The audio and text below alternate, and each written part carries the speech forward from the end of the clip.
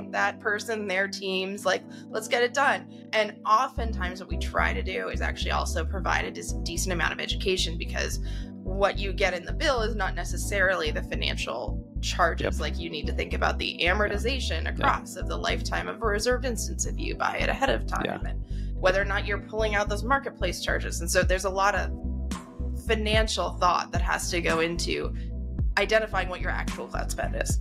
Yeah, and, and, what you're describing is exactly what we go through on the service side. It's exactly the same thing. So someone will come to us and they'll say, "Well, you know, we have, uh, you know, our our CFO wants us to have, you know, 60% gross margin on our our consulting offers because that's what they think is good, and and they'll put some, you know, business version of the model on the table and say, well, we have benchmarks, but by the way, we have to have a common definition here. Yes. And that 60%, you know, so once you start moving stuff around, you say, okay, now we are comparing apples to apples compared mm-hmm. to what good looks like in the industry. But that translation part is so key. And it is, uh, uh you know, it's never failed to amaze me that you know you would think with accounting rules that you'd see pretty much the same thing from company to company the variance that you can see on where people stick stuff oh, like you were saying, oh, that ended up in G and A. Oh, that ended up in R and D. Well, wait a minute, that is up in, you know, cost of service. It's kind of crazy, you know, when you when you look at it.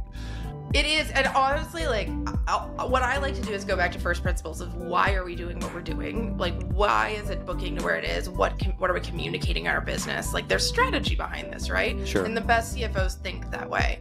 But I, I mean, not to take a, a slight little deviation, but I've got a little bit of a bone to pick with our whole big gross margin model and perspective on the tech industry, right. because we spend all of our engineering focus on building features that satisfy customer requests